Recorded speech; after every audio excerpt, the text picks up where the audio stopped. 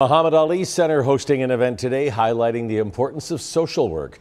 Nearly three dozen social workers and community organizations gathered at the center for what is being called Social Work Day. Dr. Renee Campbell and other visionaries from Kentucky State University, U of L, and Spalding University led that forum while also offering resources.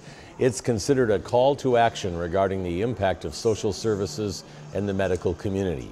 It's not the only first of its kind for the city, but also for the state everybody deserves to have good, competent medical treatment. Everybody deserves to have access and to be treated fairly.